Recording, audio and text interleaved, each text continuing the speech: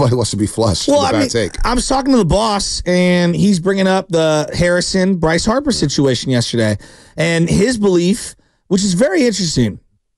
And, and I'm not sure where I stand on it currently, but he's like, "Hey, finally, like a month ago, you got punked by Philly. They, you came into their house and they they kicked the crud out of you, and you felt levels below them. And the best player in the game, or one of the best players in the game, is Bryce Harper. And yeah, even though he's having a rough outing yesterday and, and the game didn't go the way it wanted uh, for him yesterday, Kyle Harrison is not going to back down to Bryce Harper. And the team's not going to back down to him. And he's like, that's what I've been wanting. I've been wanting swagger. Wow. I want to show, you know, I want this team to show me that they're going to punch back. And he was really excited and encouraged that the kid was willing to fight back in his own little way. Well, that's what he just said in the office. No, Bonta, uh, you keep talking swagger. You watch swagger flair. Well, this Harrison kid, he didn't back down for Bryce Harper. He didn't back down from him. And that's cool.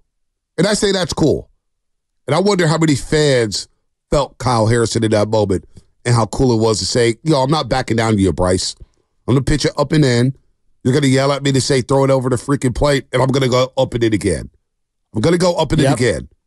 Now, was it a control issue? Did he know what he was doing? And that's all good. You can't be no punk. And I, I respect that. That is swagger. That is toughness. But I'm getting older now, Shasky. And all that stuff is secondary to me. Yes, I want swagger. I want toughness. I want some. I'm going to go after uh-huh. you. I'm going to strike you out. I'm going up and in. I don't care who you are in the box. It could be Bryce Harper, Barry Bonds. I don't give a damn. I respect that attitude from a young 22 year old. But you also got to pitch better. All right? And moving forward, that's all fine and dandy. But we're going to be watching how you control those emotions in the future. Not talking about pitching long term and whether you're giving me seven shutout innings.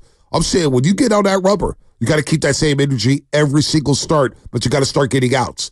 Because once you don't get outs and you start pulling this stuff and you're going up and in on the Bryce Harpers of the world, then all of a sudden people look at you a little crazier and all that little tough guy stuff goes out the window. So- but but he gets props for that. Did the Mad Bum experience where he used to do that as Mr. Policeman, did that wear thin on you? It did because it felt borderline racist at times. And then obviously it just became a thing with him.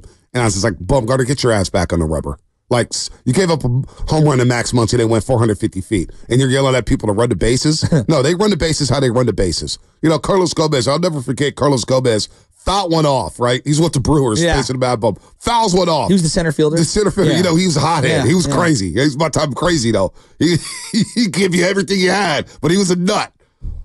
He starts cursing himself out over a foul ball, and Bumgarner starts yelling at him, get in the box, and Carlos Gomez like, "Who the hell are you?" It got old quick with Bumgarner. That stuff gets old when you do it over and over and over again. That situation, Bryce Harper's yelling back at him saying, "Throw a strike." You know, throw it over the freaking plate. I'm paraphrasing. Kyle Harrison had every right to be like, no, screw you, dude. I'm going up in it again because he already struck out Bryce Harper. He had it shoved against Bryce Harper. Who the hell are you to tell me to throw it over the plate? I'm trying to get you out. I'm doing whatever I got to do to get you out. I'm in survival mode in this inning. I got to get out of the inning. I didn't keep this team in the game. So Kyle Harrison does get props. But I do wonder how it resonated with Giants fans yesterday that he did stand up to Bryce Harper, a guy who you know, obviously spurred the Giants and tied with the Phillies and has been known to have beef with other pitchers, including Hunter Strickland here with the Giants and starting brawls, which is what, nine, eight, seven years ago to the day yesterday, in which he started that brawl with uh, Hunter Strickland throwing the helmet the other Yeah. way and fighting with Hunter Strickland to catch a one on the chin. But I wonder how Giants fans feel about Harrison doing that. I, I do. Does that make you like Harrison even more? Uh, well, to me, I, I was just I like that he didn't back down. I mean, that's definitely something. I- I'm just I'm very um, I think that he's in a he's in a, an odd spot right now, uh, overall. But that particular moment, I don't think it moved me the way it moved our boss. It didn't move me that way. Now I liked it. I got a good chuckle out of it. But at the end of the day, I'm like. Yeah, but they're looking at you as like barbecue chicken right now, dude. Like it's one That's thing if you're in, you know, a four four game or something like that, and and it's heated, or even if it's in August or September. I, I love that the Giants have punched back, but at the same time, I'm also looking at the big picture, and I might be too zoomed in on this thing. I I don't know, but I didn't see that as some like giant statement that we're going up against Philly and we're not going to back down. To me, it was a guy in the moment, like, nah, dude, like I'm going to throw up and in. I'm good with that, and I liked it, but. I still see that the young guy has a lot of growth, but I love the competitive fire in him. Again, I, I, I and, I, and as I, pardon B, as I just stated, it may not matter if you start getting rocked around. You go to Arizona, you get lit up. You get lit up by the Rangers. You get lit up by the Cubs. All that, hey, yeah, you stood up to Bryce Harper. Nobody cares. The bottom line is you have to get results. Now, you may win over people in that clubhouse and you're a fiery Uh-huh. guy, but you're also only 22 years old. This is your first trip around the big leagues. You got to earn that respect. You know, when you do that to Bryce Harper, and I heard FP yesterday with Willard Dibbs, and he said it. Look, man, when you go up and in like that, you're playing with people's lives. There's no You know what I'm question. saying? You're playing with Well, you people can- don't want to be hit in the face. Here's Bryce They Harper. don't want to lose a season. They don't want to lose a season. They don't. And he goes, you know, Bryce Harper's like, yeah, I wasn't really that bad. And I know Harrison wasn't trying to do it, but look, it's not fun when you get hit in the face. You get in the face, man. It's just, it's not fun. So, it's bad. Asked if uh, he cleared the air with, cleared the air with Harrison. He didn't mean to. You know, fingers in. He didn't mean to. He didn't mean to. He didn't mean Interesting. to. Bryce, um, Bryce kind of drives me crazy. I mean, he's so talented. He's so good. I can't keep my eyes off him when he's on my television screen. But there's just a lot with him. He, he's very he's got a Luka quality to him where it's all about him and the hair and when he makes an out it's like I should have hit a 500 foot home run I don't know there's just there's The a intensity. flamboyance to him I do love it though. no he's great he's great for And he's lived up to the hype. No Let's be real. We've been knowing about this guy since he was at JUCO. He's also a Philly. He's a 16 year old. And I hate the Phillies. Yeah, no, I can't say the Phillies, but he in that market, he's a rock star. oh he's perfect He's a rock star. We told who did we talk to? Was it Dubas Yeah. who said he is number one? And we talked to another guy in Yeah. Philly I think it was Spike Eskin Oh, Spike also. Eskin said he was the number Yeah. one guy in Philadelphia right now. That's pretty because of the W. You know when he brought up Chuck and Yeah. Chuck on WIP, who we found out Chuck was a bozo. He's one of their worst callers, and uh, it's like that's the best you got. Chuck came on this show and got roasted real quick. That bum. Jeez, can't wait to play play the Eagles again. He's what a bum he was, Chuck in Philadelphia. I mean, look, I just anyway. when we talk about this little moment, though, Bonta, when we talk about this moment, think of the stakes and how high they were in the NLCS when it's Johnny Sanchez and Chase Utley. Yep. Think about the Bryce Harper Hunter Strickland thing. Like that was because the year before they were in the playoffs and they went up against each other. And Hunter the Strickland stakes were pretty giving high. up- he was giving up 700, 700 I mean, that ball- nukes. Was that a day a day game playoff game? Yeah, I think was that game three. That ball Yeah, was absolutely three. nuked. It was So, so like, I, and I love the boss, right? I love Right. the boss, but like. Giants fans, the stakes were so high as you talk about Right. stakes were foreign. Think of all these other real like miscues.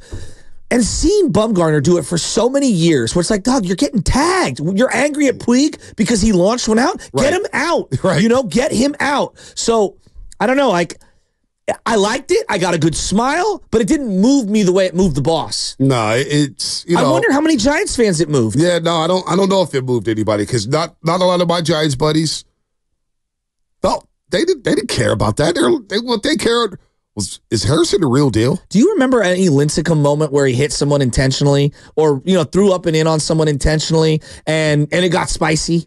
I don't remember. I at don't. all. I don't either. I, I don't can't recall, recall. it at all. I can't recall it at all. Guys just got outs. I mean, to me, he's Just the- guys just got outs, and I think league wide, Bryce Harper commands a lot more respect right now, and it's not even close. Yeah. to Kyle Harrison. Yeah. we don't know Kyle Harrison yet. We really are just now getting to know him at the big league level. He's a rookie.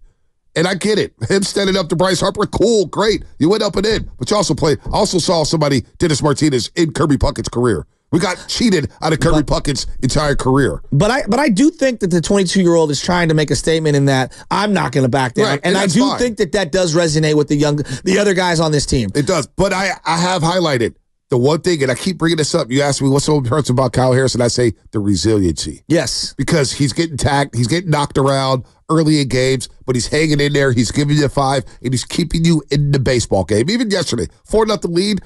We just watched the Giants come back three straight games from four run deficits. They're able to do that. Now LaMonte Wade Jr.'s out. That's impacted the offense, no doubt about that. But we have seen them rally from four run deficits Yeah. three times in the last week alone. True. So he's keeping you in baseball games. But I'm also watching the pitcher saying, boy, he it feels like he's in survival mode, mode from the first pitch of the game. I mean, he's walking guys, he's giving up hits. So yeah, you could be a tough guy. You could be up and in. You could tell Bryce Harper to get his ass back in the box. That's all fine and dandy. But you also got to produce. And that's where Giants fans are knowledgeable saying, you know what? Yeah, that's great. You, you tried to check Bryce Harper. Pitches cleared, whatever. Phillies are still better than us. They got the win today, and you gave up 12 hits in five innings. I feel like Giants fans are feeling like that as opposed to, yay, he stood up to Bryce Harper. Yay, Bryce Harper's a crybaby. Yeah, who was Bryce? Blah, blah, blah, blah, blah. No, no, no, no, no, no. It's Harrison, you need to pitch better. It's straight up. I, I, I admire the toughness. I admire you not being a punk. Is that showing me some swagger, some moxie? Yeah, sure, absolutely. Good. I, I look, Yeah. I, I do like that. But I also would like you to not give up 12 hits in five innings. Oh, I would also like to see you get past the fifth inning. You got four straight starts where you only went five. Well, let me let me take it a step further. When they did have the benches clear, the two guys that were in the mix more than anyone weren't the players. It was Matty Williams and, Pat and, Burrell. and Pat Burrell. yeah, I know. It was the two coaches. you know, like Curt Casali, I'll give Curt Casali credit. He did not pull a Buster Posey. He didn't just stand there and let it happen Right. and then jog after the fact. Curt Casali got right into Right. uh, Bryce Harper. Was like, no, no, no, no, we're not going to let this happen. So Boss Man's talking about swagger. No, Bryce Harper's got the swagger. yes, For him to sit there and yell at somebody, throw it over the plate. That gave me Parkman vibes from Major League. It's like, damn, Bryce, stop playing around. Well, me- so yelling at the kid said, throw the damn ball over the Monty, plate. There's been times where I've been out in the field and I'm telling our pitcher, "Can you just throw some strikes?" See? Uh, so trust me, I get that. Like, Right. throw some And strikes. So you want to talk about there. swagger, the headband, the hair, the gloves, the eye black, tapered pants showing the tapered socks. pants, the socks, The white full Under Armour beard. shoes. I mean, he's just